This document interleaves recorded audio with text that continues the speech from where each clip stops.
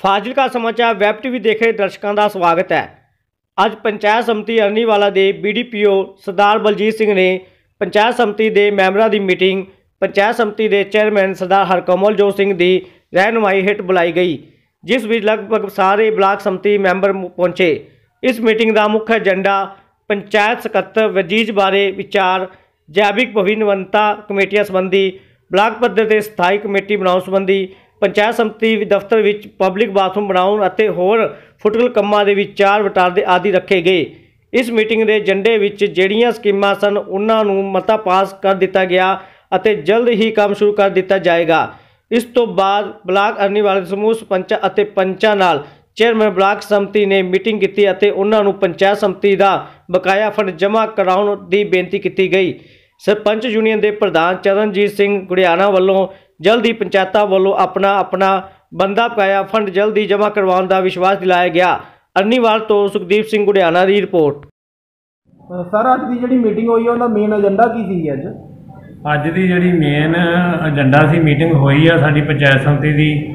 ਸਾਡੇ ਚੇਅਰਮੈਨ ਸਰਦਾਰ ਹਰਕਮਲਜੋਤ ਸਿੰਘ ਦੀ ਪ੍ਰਧਾਨਗੀ ਹੇਠ ਹੋਈ ਆ। ਉਹਦਾ ਮੇਨ ਏਜੰਡਾ ਸੀਗਾ ਵੀ ਇੱਕ ਤਾਂ ਅਸੀਂ ਸਥਾਈ ਕਮੇਟੀਆਂ ਸਰਕਾਰ ਵੱਲੋਂ ਬਣਾਉਣੀਆਂ ਬਲਾਕ ਪੱਧਰ ਦੀਆਂ। ਇੱਕ ਜੈਵਿਕ ਵਿਭਿੰਨਤਾ ਕਮੇਟੀ ਬਲਾਕ ਪੱਧਰ ਦੀ ਬਣਾਉਣੀ ਆ। ਉਹ ਅਸੀਂ ਕਮੇਟੀਆਂ ਦੀ ਇਹਦੇ 'ਚ ਬਣਾਈਆਂ, ਕਿਉਂਕਿ ਗ੍ਰਾਮ ਪੰਚਾਇਤਾਂ ਦੇ ਪੱਧਰ ਤੇ ਅਸੀਂ ਕਮੇਟੀਆਂ ਬਣਾ ਕੇ ਪਹਿਲਾਂ ਭੇਜ ਦਿੱਤੀਆਂ ਸੀਗੀਆਂ। ਹੁਣ ਸਾਡੀ ਜਿਹੜੀ ਆ ਪੰਚਾਇਤ ਸਮਿਤੀ ਅਰਨੀ ਵਾਲਾ ਨਵੀਂ ਹੋਂਦ ਵਿੱਚ ਆਈ ਆ।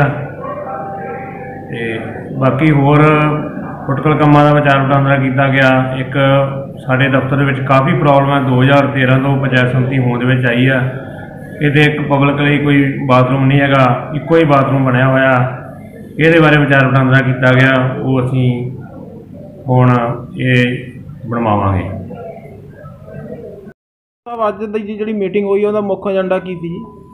ਅੱਜ ਸਾਰੇ ਸਾਡੇ ਬਲਾਕ ਸੰਮਤੀ ਮੈਂਬਰ ਤੇ ਵੀਡੀਓ ਸਾਹਿਬ ਦੀ ਰਹਿਨਮਾਈ ਦੇ ਹੇਠ ਬਲਾਕ ਪੱਧਰ ਤੇ ਸਥਾਈ ਕਮੇਟੀਆਂ ਇੱਕ ਜੈਵਿਕ ਸਰੋਤਾਂ ਦੀ ਸਾਂਭ ਸੰਭਾਲ ਤੇ ਉਹਨਾਂ ਦੇ ਸਥਾਨਕ ਵੈਦਾਂ ਇਲਾਜ ਕਰਨ ਸੰਬੰਧੀ ਅੰਕੜੇ ਰੱਖੇ ਆ ਜੀ, ਤੇ ਜੈਵਿਕ ਸਰੋਤਾਂ ਦੀ ਜਿਹੜੀ ਗੈਰ ਕਾਨੂੰਨੀ ਵਰਤੋਂ ਹੁੰਦੀ ਹੈ, ਉਹਦੇ ਤੇ ਬਾਕੀ ਬਲਾਕ ਸੰਮਤੀ ਦੇ ਦਫ਼ਤਰ ਦੇ ਵਿੱਚ ਕਈ ਕਮੀਆਂ ਸੀਗੀਆਂ, ਜਿਵੇਂ ਸਾਰਿਆਂ ਤੋਂ ਵੱਡੀ ਕਮੀ ਇੱਥੇ ਪੰਚ ਪੰਚ ਜਿੰਨੇ ਵੀ ਸਾਡੇ ਪਿੰਡਾਂ ਦੀਆਂ ਪੰਚਾਇਤਾਂ ਹੁੰਦੀਆਂ, ਬਾਥਰੂਮ ਦੀ ਸਾਰਿਆਂ ਤੋਂ ਵੱਡੀ ਸਮੱਸਿਆ ਸੀ, ਇੱਕ ਉਹਦਾ ਮਤਾ ਪਾਸ ਕੀਤਾ, ਤੇ ਹੋਰ ਵੀ ਜੋ ਇੱਥੇ ਕਮੀਆਂ ਨਰੇਗਾ ਦਾ ਹੋ ਗਿਆ, ਆਂਗਨਵਾੜੀ ਵਰਕਰਾਂ ਦੀਆਂ ਸਮੱਸਿਆ ਸੀ, ਉਹਨਾਂ ਸਾਰਿਆਂ ਤੇ ਡਿਸਕਸ ਕੀਤੀ ਹੈ। ਅਹ ਪੰਜ ਪੰਜ ਮਰਲਿਆਂ ਦੇ ਪਲਾਟਾਂ ਦੀ ਇੱਕ ਮੰਗ ਉੱਠੀ ਸੀ, ਉਹ ਵੀਡੀਓ ਸਾਹਿਬ ਨਾਲ ਵਿਚਾਰ ਵਟਾਂਦਰਾ ਕੀਤਾ ਉਹਦੀ ਇੱਕ ਰਿਪੋਰਟ ਬਣਾ ਕੇ ਅਸੀਂ ਮਾਨਯੋਗ ਸਾਡੇ ਸੀਐਮ ਸਾਹਿਬ ਉਹਨਾਂ ਨੂੰ ਭੇਜਾਂਗੇ।